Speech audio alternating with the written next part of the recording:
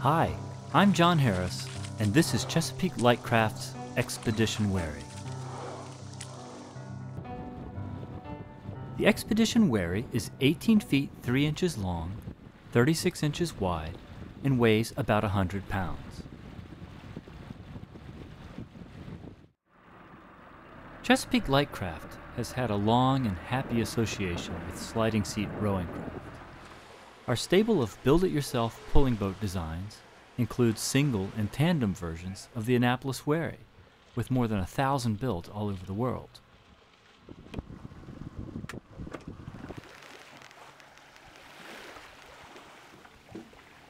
We might have left well enough alone, but we wanted a wherry that was not only fast, but also at home in rough water and with a substantial payload of camping gear.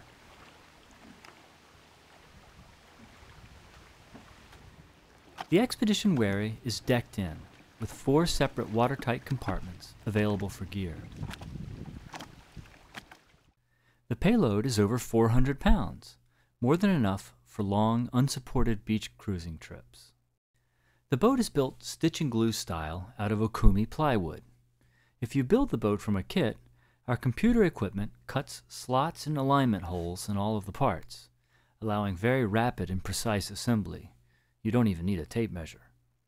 All hull surfaces are fiberglassed inside and out for a rugged layup that you won't mind running up on the beach or dropping in the parking lot.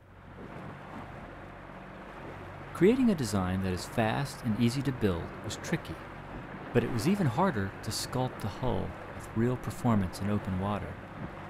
The boat has lots of rocker, which yields benign handling in waves. The bow has a cutaway forefoot and plenty of volume up high to knock down spray and to discourage broaching in the surf. A deep skeg keeps the bow pointed in the right direction, even when it's windy.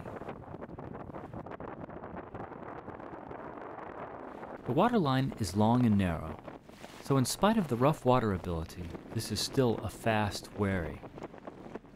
But it's stable enough for beginners, or for experienced rowers to use in cold or rough water.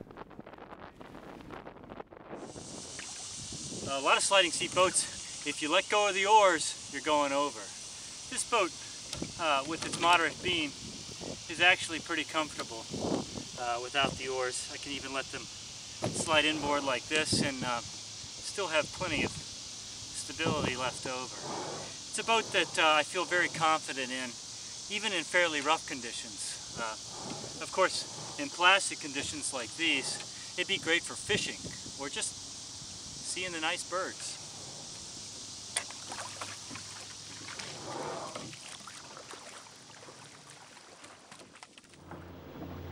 If you capsize, the boat has enough stability and reserve buoyancy to allow you to clamber back on board, bail out, and continue on your way.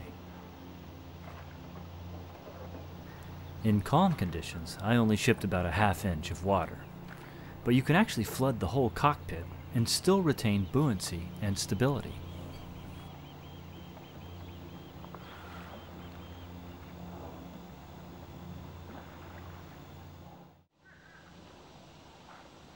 A unique and handy feature is the ability to carry a passenger.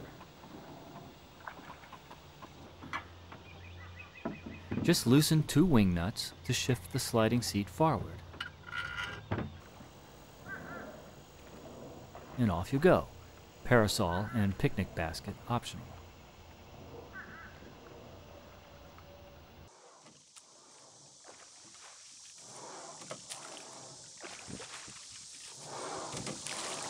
I really enjoyed building and using this Expedition Wherry. I wish I could load it up with a week's worth of stores and head down the bay right now. I think you would too.